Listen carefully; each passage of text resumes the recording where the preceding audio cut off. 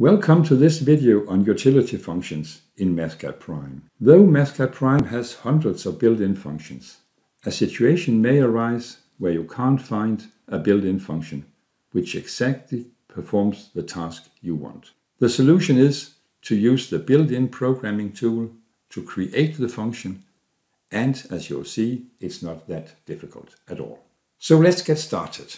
Here we have a matrix called n. To this matrix, we want to add row sums and column sums, and we'll write a program to do that. First, the row sums.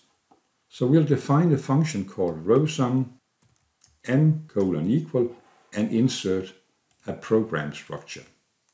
First, define a variable to contain the number of rows in the matrix M.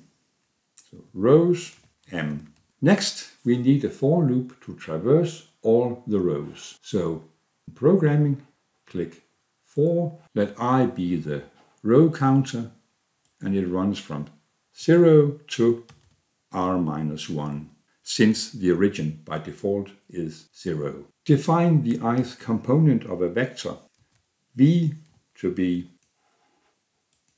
the sum of the row vectors in M. So go to the matrix toolbar, select vector matrix operations and matrix row and enter I. So this will give you the sum of the elements in the ith row of M. Finally, let's augment M with the vector v. Let's see if it works. R sum for the column sums, C sum.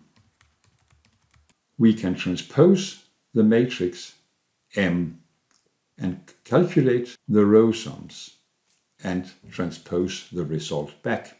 So R sum M transposed and the result transposed. Let's check. C sum n.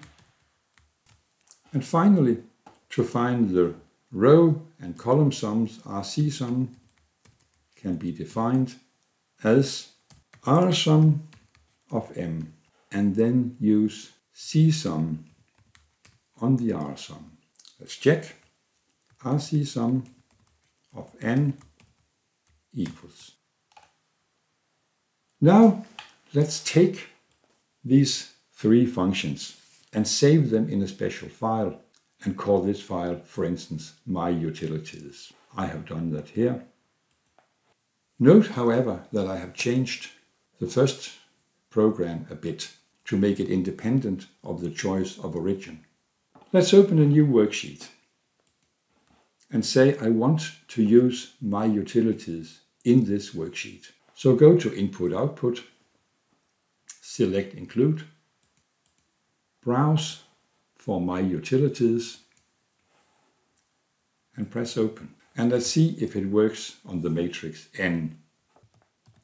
RC sum of N equals. So if you save all your utilities to a separate file and include this file in your new worksheet, you will have easy access to all your utilities. Thanks for watching.